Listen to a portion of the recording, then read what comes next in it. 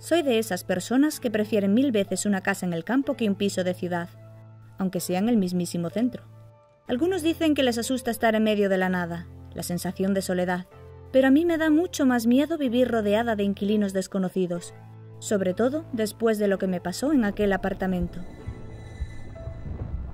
Crecí en un pequeño chalet de dos plantas, solos mi familia y yo, con la tranquilidad y el espacio que nos daba, pero cuando lo mío con Edu se volvió más serio, decidimos irnos a vivir juntos. Por los pocos ahorros que teníamos y la localización de nuestros trabajos, tuvimos que alquilar un piso en la ciudad. Estaba un poco agobiada por tener que convivir en un espacio tan cerrado y sobre todo estar rodeada de tantos vecinos, pared con pared. Tenía miedo de que nos tocase alguno ruidoso o molesto, que nos hiciese la vida imposible. Tampoco sabíamos quién había estado alquilado antes en nuestro piso. Podía ser cualquier trastornado.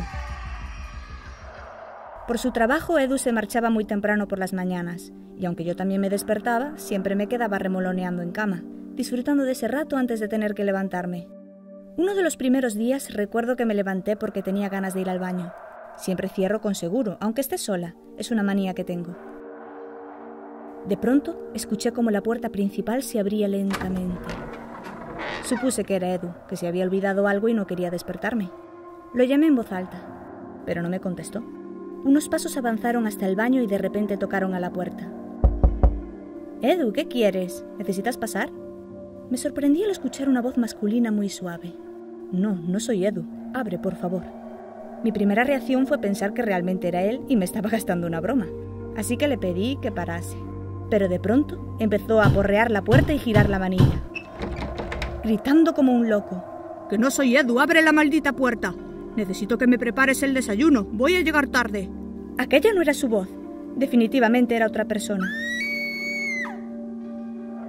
Escuché cómo daba vueltas de un lado a otro del salón, maldiciendo y tirando cosas. Yo estaba en shock, no podía llamar a nadie. Me había dejado el teléfono en la habitación y tampoco me servía asomarme a la ventana. Vivíamos en un décimo piso, así que esperé en tensión hasta que los ruidos cesaron y pasado un rato me atreví a salir. Llamé a la policía y a mi novio y les expliqué todo lo que había pasado. Lo más extraño es que la casa estaba en orden, no faltaba nada, y la puerta no había sido forzada.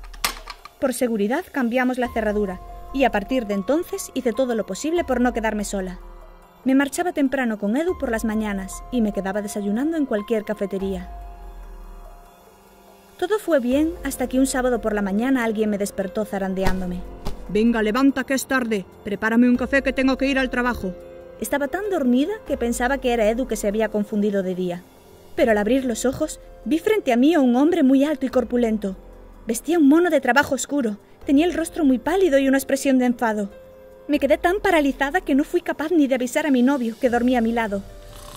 El hombre simplemente se giró y salió de la habitación en dirección a la cocina. Y no sé si es porque aún era de noche y estaba medio dormida, pero juraría que atravesó la pared como si fuese un fantasma. Se lo conté a Edu, y él quería creerme, pero entiendo que tuviese sus dudas. Todo resultaba confuso. ¿Vosotros sabríais darle alguna explicación? El caso es que no podía seguir en aquel piso ni un minuto más. La ansiedad me comía a todas horas y no era capaz de conciliar el sueño, creyendo escuchar ruidos de pisadas por la casa y cacharros en la cocina. Al final convencí a mi novio para que nos fuésemos una temporada a vivir a casa de mis padres por lo menos hasta que consigamos ahorrar para algo mejor. Una casita en las afueras o algo que sea nuevo y con pocos vecinos.